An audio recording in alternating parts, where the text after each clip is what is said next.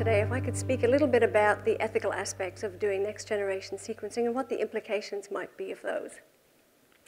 So there's general principles which govern ethics and genetics. So firstly, obviously, autonomy or the respecting of self-determination of individuals and protecting those persons with diminished autonomy, in particular children. Um, beneficence, obviously, I don't need to tell you, means do good, and non-maleficence means do no harm. And the last is justice, treating people fair, with fairness and equity, and distributing the benefits and burden of healthcare across society as fairly as possible. There are ethical issues that pertain to genetic testing generally. Um, first is the aspect of consent, making sure that people are adequately consented for what happens. The second is access to testing itself, that everybody has adequate access. Results of unclear significance, and this isn't new to next generation sequencing. Uh, neither is unexpected findings, but we'll talk some more about that. D genetic discrimination is a very important issue that's getting a lot of attention at the moment and then the shared nature of genetic information, whereby testing one person in the family will very often tell you about the genetic status of other people in the family as well. So when you think of next generation sequencing, whole exome sequencing, or whole genome sequencing, all the same issues still apply as applied before. However, the order of magnitude has shifted significantly, particularly regarding consent. So you're not just consenting for one straightforward test, it's a lot more complicated than that.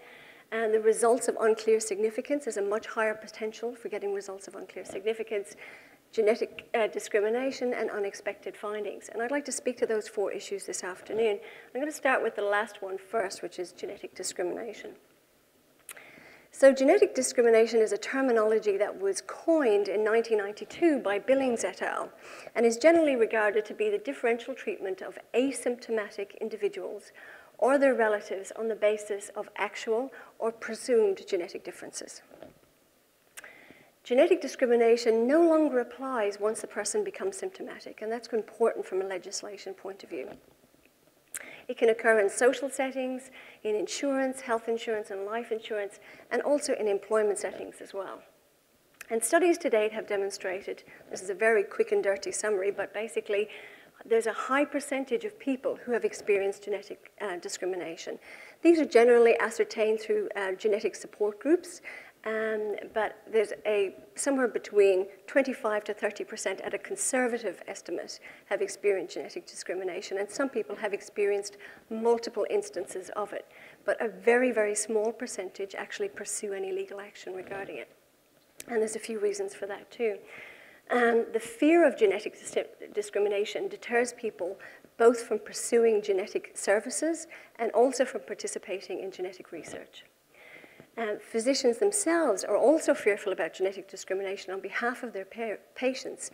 And a large survey of American internal specialists has shown that this actually affects their um, uh, tendency to refer patients to genetics.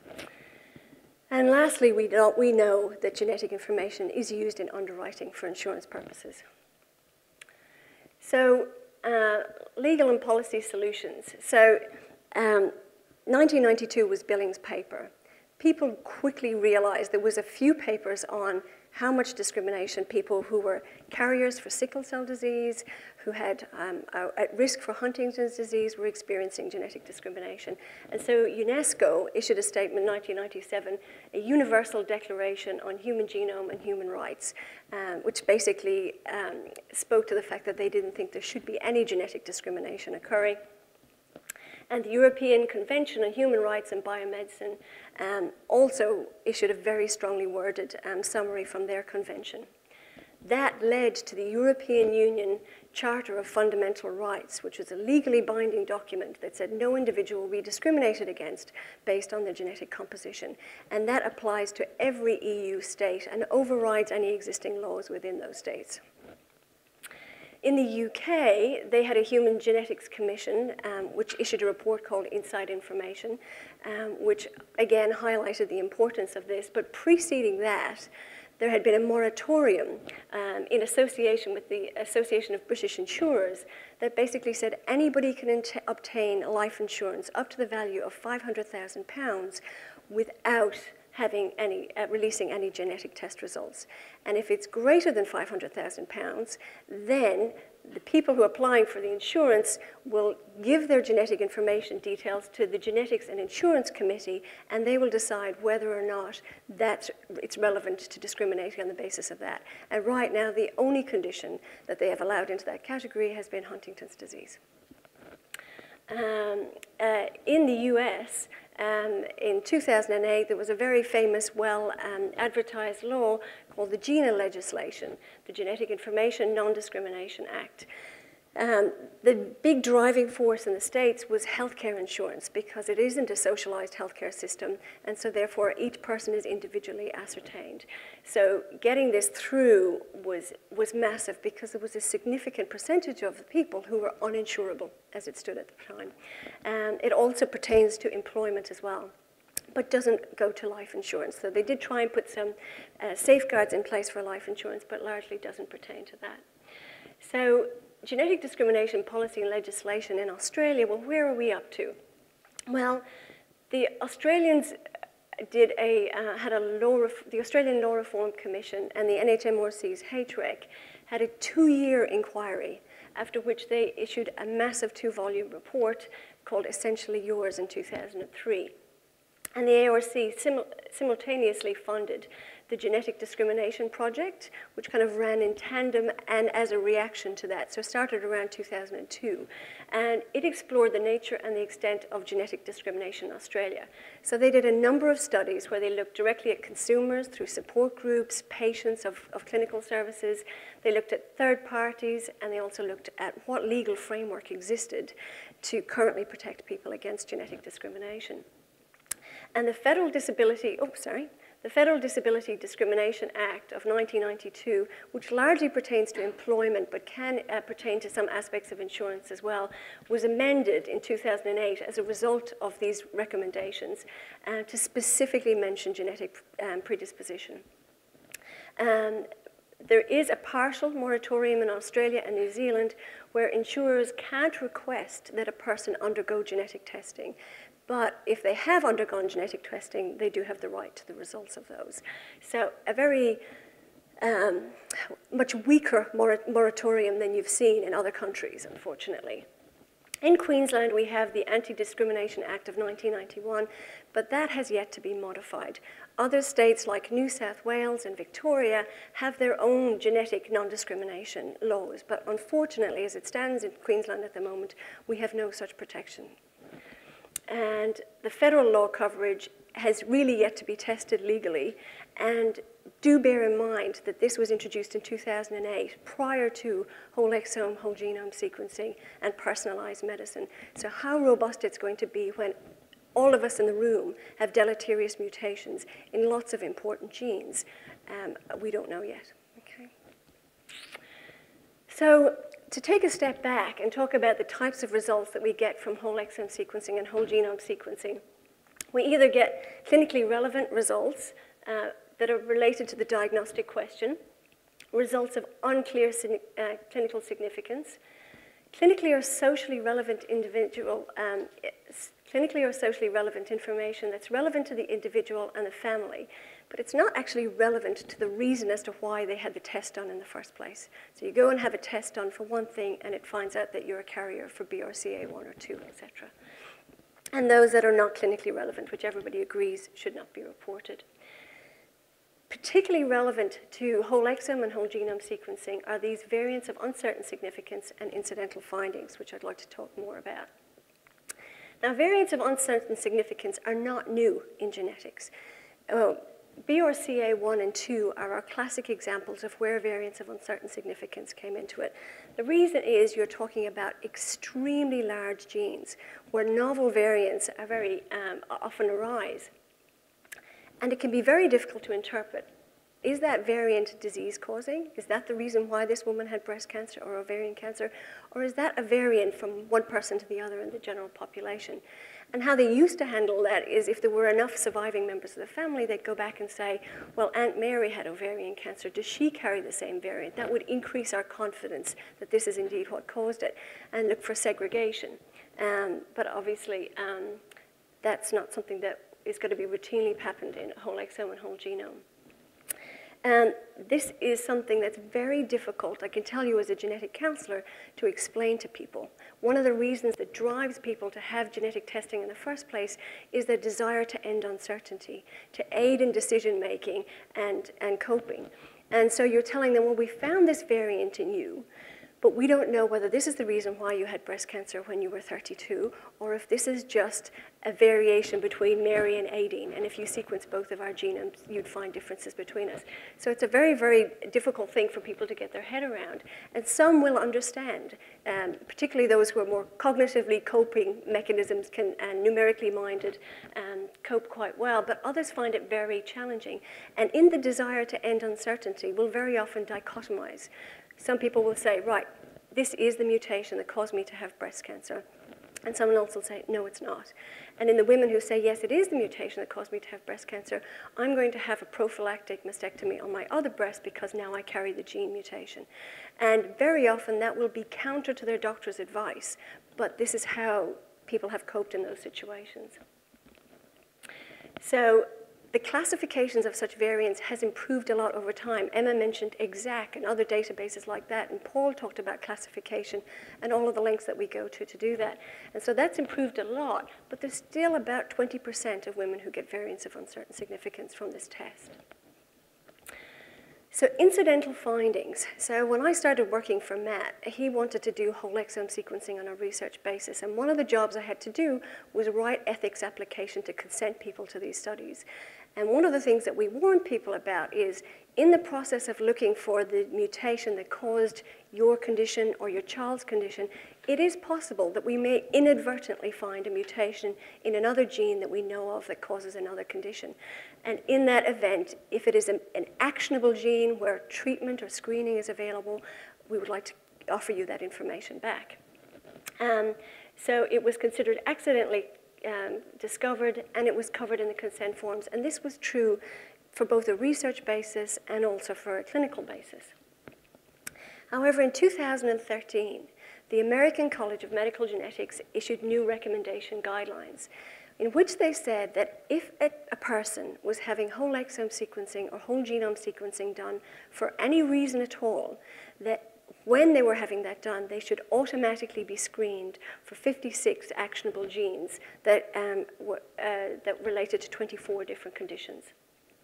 These are highly penetrant conditions, they're clinically actionable, and they predominantly include hereditary cancer disposition and sudden cardiac death. Okay? Uh, there was no inclusion of recessive disorders or pharmacogenomics. Um, they also said that patient preferences shouldn't be taken into account. So there shouldn't be any a la carte testing, basically. Um, ordering clinicians should discuss with the patient the possibility of finding incidental findings and that laboratories should seek and report findings from the list without reference to patient preference. Uh, patient age should not be taken into account. Tailoring the report of such information according to the age of the patient could place an unrealistic burden on laboratories. And they acknowledged that you might have ethical concerns with this, but any ethical concerns would be outweighed by the potential benefit to future health of child and the child's parents. And that reporting incidental findings to ordering clinicians not be limited by the age of the person being sequenced. They also went on to say that we should be careful to document in the patient's record the rationale for any significant deviation from these recommendations set forth in the guidelines there was a lot of reaction in the clinical genetics world. So I particularly like the whole we need to talk uh, one. Um, uh, and in fact, 150 responses in less than six months. Um, they did give them some kudos. They said, listen, your motivations are honorable. You want to avoid um, you know, the, uh, the trauma and um, uh, associated with conditions that could be treated or intervened earlier. And it is commendable that you came up with a list. Instead of just looking at 21,000, you said, right, this is a, a, manageable list. That is a lot more uh, tenable than doing 21,000. That was where the support ended. And after that, it was concern. Um, concern on multiple levels. Well, one, from an evidentiary point of view. So Emma told you already that we know that whole exome sequencing and whole genome sequencing is very effective at diagnosing rare disorders, identifying new genes, and are applicable in conditions caused by multiple different genes. However, many of the 56 genes on the list were very rare, and some of them had only been discovered in a year or two prior to that. So there was a lack of evidence regarding the predictive value, and there was a lack of evidence about the spectrum of the phenotypes that you might get associated with those genes, and there was also a lack of evidence about the efficacy of interventions in those cases. In fact, most people said this is actually not incidental in the true meaning of the word. This is actually screening. And as such, screening should only be instituted when there is compelling evidence that it improves the health outcomes of asymptomatic people. And when considering introducing screening, you should explore the potential for ambiguous results, which obviously we have, unnecessary workup, iatrogenic harm, so harm from the actual test in itself, and false reassurance. And of relevance, in 2013, after a couple of years of um, uh, discussion and debate, the US Preventative Services Task Force actually recommended against referral for BRCA testing in asymptomatic women in the general population based on a systematic review of the potential benefits and harms. And they recommended that we carry on with the family history and medical history approach in selecting women, which women should have BRCA testing. They also said there's logistical concerns. So you have to make sure that people are adequately consented. So you can imagine you've got no family history of MS pheochromocytoma. And I've got to convey to you in a session not only the risks of testing for the particular condition that you have or your child has, but I've got to make you understand kind of what the nuances are of testing for the others. Some could say, listen, these fall into two broad categories, and you could counsel people about hereditary cancers on one hand and sudden deaths on the other. Um, but it still has a lot of challenges with it, and there's a lot, a lot a lot of people who would feel adequately trained to feel comfortable doing that kind of consenting process. Clients need to be made aware of the limitations of the test. And then again, what um, Paul and Emma have spoken to, this variant interpretation and classification is no small thing. It's extremely challenging. And in fact, a recent study said if you take um, a a 6,500 exomes and you look at the variants in those and you get multiple people to code whether those variants are, are damaging or not, there's actually very poor correlation between coders, somewhere in the magnitude of 50%. Um, uh, there's limited databases, and some of those have incorrect entries associated with disease because five years ago we thought it was disease causing, but now we've sequenced thousands more people and we know it actually occurs in the general population in the absence of disease. And it's also very time consuming. It takes about 37 minutes per variant to work out whether or not this is going to be damaging or not. And this study found that about 1.6% of Caucasians and about 1% of Africans will have a true bona fide mutation of um, clinical significance at the end of all of that. So ethical concerns obviously were uh, significant. So overriding individual autonomy. So only the year prior, the American College had issued a statement saying that patients should be given the option of not receiving certain or secondary findings and leave genetics out of it. In medicine in general, competent adults have the right to refuse um, any medical test or treatment, whether that's a blood transfusion or a genetic test. So kind of over uh, ignore that. It also contradicts previous guidelines on genetic testing in children. Now, I haven't mentioned all of the guidelines. There's numerous ones for European, Australasian, and, and American, American Academy of Pediatrics. But basically, the intentional screening of the child aimed at putative parental benefit is not endorsed. And in past policies, uh, it was concluded that one should avoid testing children for adult onset diseases as it's inconsistent with the child's best interest. There's also iatrogenic complications, psychological harm. So I went in because my child had multiple congenital anomalies and we wanted to find out what the diagnosis is. And now you tell me that my child is also carrying mutation for hereditary colon cancer, you know, processing all of that. And also the issue of classifying variants, the risk of false positives. And that's the primary reason why many US labs still haven't adopted the ACMG recommendations, is because of the risk of false positives.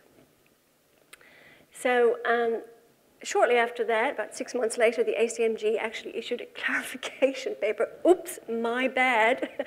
we didn't really mean that. What we meant was this paper was for educational purposes and has no legal implications at all, and you don't have to put in the notes that why you decided not to use our recommendations, and it's not an industry. And actually, maybe we should actually give patients choice about what test they would like to have.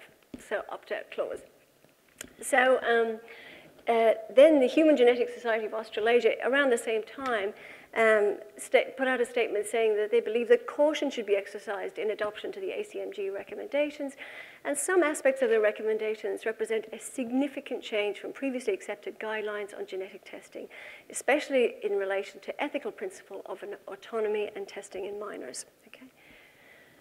So the European Society this year have issued a, a, a, paper about the fact that basically saying we're working on it, we're still discussing it, we haven't reached any conclusions yet, but here are the things that we're concerned about. Um, uh, they basically said that the ACMG's guidelines were contradicts you know, all the other ethical principles existing prior to that that I told you about.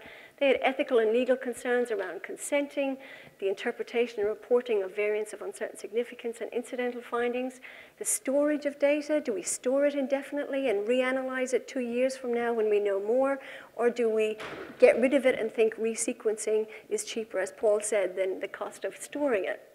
And also, when do you disclose the information? You're, you know, as I said, the whole neonatal um, uh, child with multiple congenital anomalies, um, when do you start talking about hereditary colon cancer? Um, and they were more optimistic of the possibility of finding a consensus now that the ACMG had allowed for an opt-out clause. So in brief, moving forward, um, everybody said there needs to be more of inclusive conversation. So all the people in the ACMG guidelines were largely geneticists. We need to have um, primary care physicians, public health physicians, policy, general pathology researchers, bioethicists, and healthcare consumers on this panel coming to this decision. Everyone now agrees that clients need to have a choice. Most people agree that children shouldn't be tested for adult onset conditions. And we need to learn more about what clients want. So there's mixed studies to date, and they suggest that they really don't want variants of uncertain significance, um, and um, they have mixed feelings about incidental findings.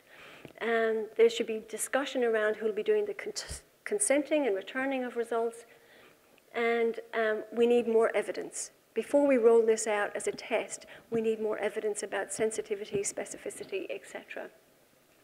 Um, there's to minimize the false positives and the ambiguous findings, the positive predictive value in the absence of a family history. So when you found a mutation before, I, I can't, you know, as Emma said, I do gene discovery, I'm very lucky, but very often you'll get minimal information about how that child is affected and you find a gene and you'll think, this does look kind of promising, but they didn't say anything about the kidneys. And in the mouse and in everything else, the kidneys are involved. And then you contact the clinician and they go, oh, yeah, they're in end stage renal failure. And you're like, oh, well, now it makes sense. It's perfect, you know? But so you need that in the absence of any family history or medical history, that interpretation step gets more challenging.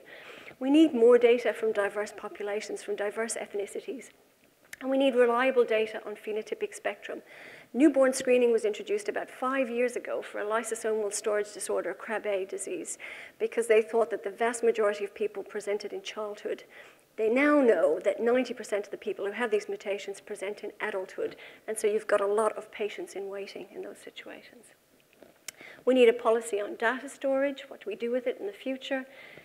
And screening requires us to have resources for timely and appropriate follow-up, and we also need the proof that the net benefit is at an acceptable cost. Thank you very much.